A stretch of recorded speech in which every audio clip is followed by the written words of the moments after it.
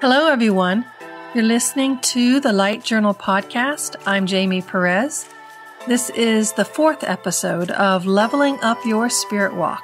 Today, I'll be talking about aligning your compass.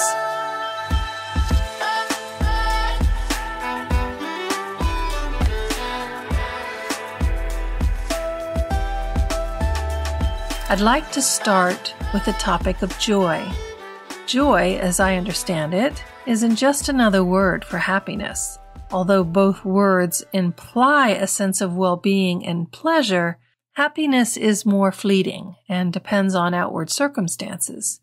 Joy is the state of being, a feeling of contentment, connectedness, and purpose. It brings you into the present moment and helps you to expand your mind. It brings meaning to life. It's also incredibly difficult to maintain in the midst of a million responsibilities requiring our time and attention. If you haven't already seen the thumbnail for this podcast, take a moment to look at it. This is a photo I took while walking in the city. I came across a petunia growing in the crack between a stoplight and the bricked pavement. The flower wasn't very big and the leaves were small, but it was flourishing in a very harsh environment. There was minimal soil for its roots and no water since we've been in a drought for the past month. That flower to me represents joy. Despite extremely difficult conditions, it's thriving. Yes, the plant is smaller than normal, but it's just as beautiful, if not more so, because of the starkness of its surroundings. That's what joy does. Instead of being defeated by harsh situations and circumstances, it radiates joy, presence, purpose, and connectedness.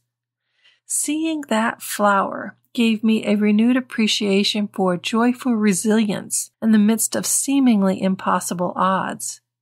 Unlike the petunia, humans as a whole focus more energy and effort on what they don't have rather than growing where they are and learning to tap into the resources and energy that are already available. The petunia didn't have enough water, nutrients in the soil, or even a safe place to grow, but it flourished because its energy was focused on growing where it was with what it had.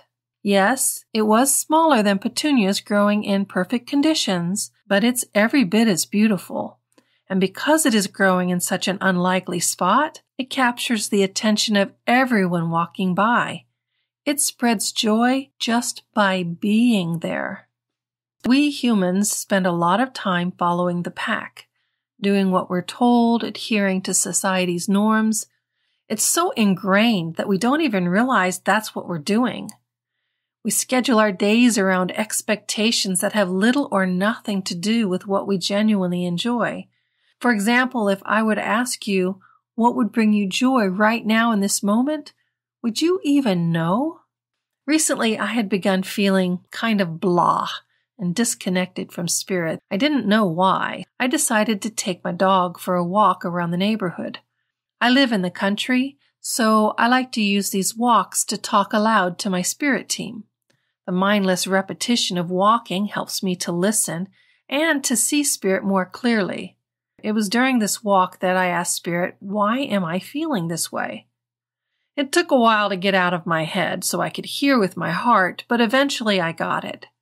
They explained that the uncomfortable, blah, disconnected feeling was their way of getting me to pay attention to the energy that was all around me. They wanted me to be aware of awareness. Awareness is consciousness, the underlying truth of our existence. Some may call this awareness God, the universal consciousness, source, spirit, or even the quantum field. It really doesn't matter what we call it. It's both the originator of all consciousness and the sustainer of all consciousness. It constructs, sustains, and maintains everything that we know as reality. This energy is constantly moving, changing forms, and shifting the reality all around us, though we may not be aware of it. Since we are made of that same conscious energy as the awareness itself, we too can and do move, change form, and shift energy around ourselves. We do it by the thoughts we think, the choices we make, the things we do, and the intentions we set. I did ask Spirit for more insight into what was troubling me, but I didn't get more information. Over the years, I've learned that if Spirit doesn't give me a complete answer, it's because I need to learn it through experience. Personal experience is always more impactful than simply hearing about something. Because I knew Spirit was going to be giving me more information, I did try to stay aware of awareness as instructed. More often than not, I'm mentally or physically distracted. I imagine that's true for most people. When I'm not distracted by all the stuff I have to do, then it's by all the media stuff that's available. What I didn't realize was how much these distractions were influencing my energetic compass. After I returned home from the walk, I came across an article about a major deforestation project in Papua New Guinea that was being done by several corporations who wanted to grow sugarcane there. Millions of acres of forests and pristine wetlands were being tilled under to fill someone's pockets without regard for the indigenous people living in these areas. I got angry, really angry, because of the injustice of what was happening and my own feelings of helplessness to stop it.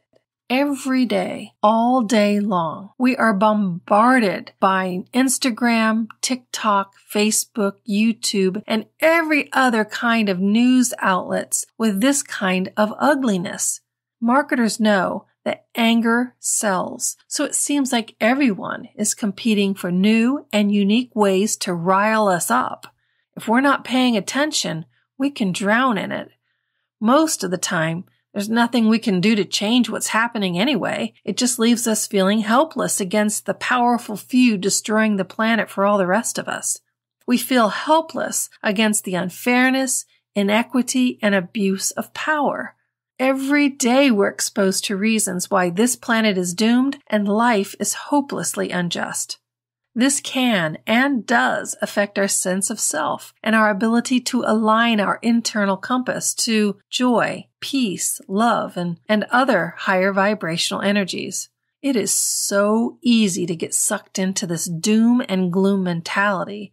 And when we do, it draws our internal compass away from joy. I can get so focused on everything that's going wrong in the world and on all the awful things people are doing that it sucks the life right out of me. I start obsessing over everything that's happening and I get what many would call justifiably angry. But when I do that, I become part of the problem instead of the solution. Energy is magnetic and it spreads. Whether it's the energy of greed, exploitation, and violence, or the energy of righteous anger, it still adds to the overall chaos. Those corporations and politicians that are selling out the indigenous people and the planet, they're following their compass. They're aligning with the kind of reality they want to live in. And their choices reflect that. That's not a reality I want to aid and abet by letting myself become angry. The best way I can serve is by aligning my compass to love, joy, harmony, and other higher vibrational energies that counterbalance and offset the lower and denser energies. That means I need to be constantly aware of the awareness that permeates all things.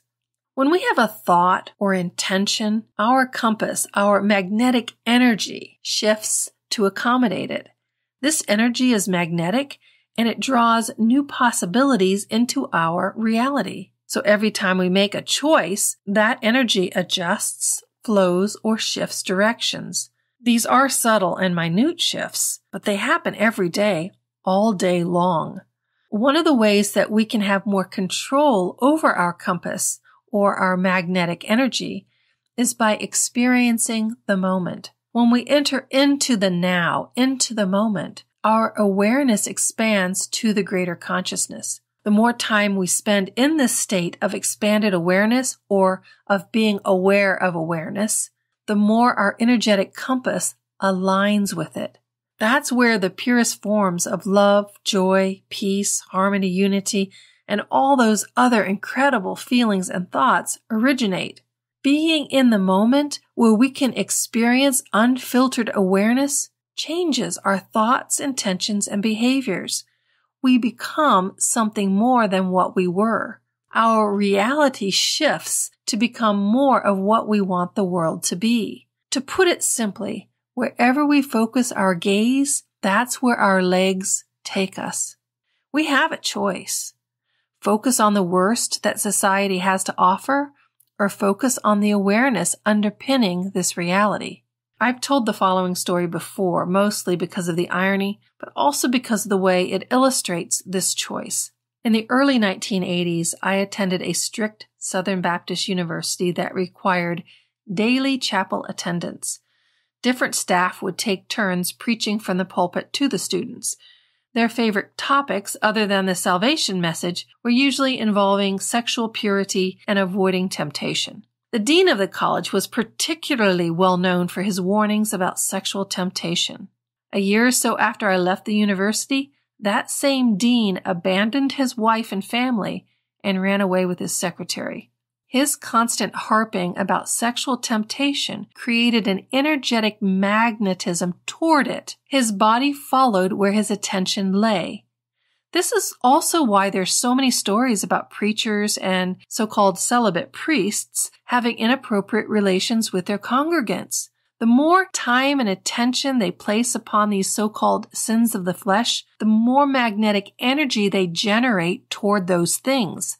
This is also why well-intended but poorly informed school abstinence programs fail the students. The more attention they bring to something, the more magnetic energy it generates. The more the magnetism, the stronger the pull.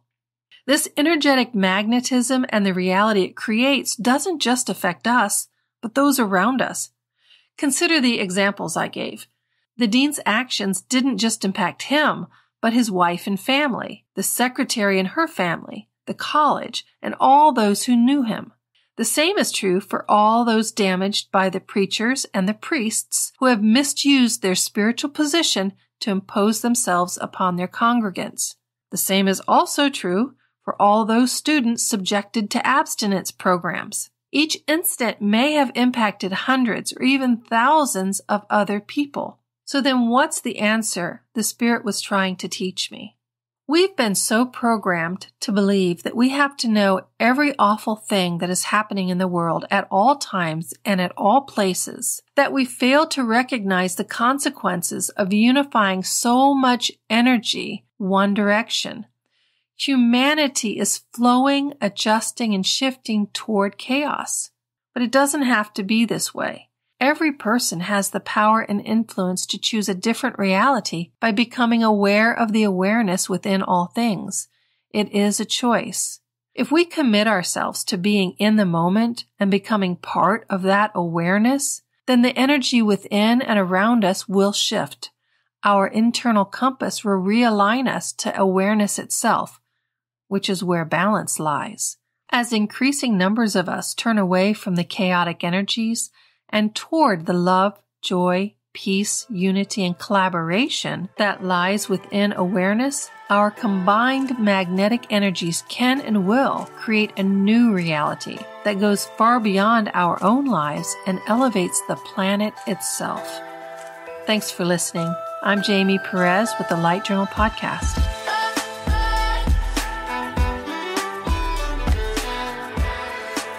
If you would like to learn more about me or the services provided by the Light Journal, be sure to visit my website at thelightjournal.online. Blessings on your journey, everyone.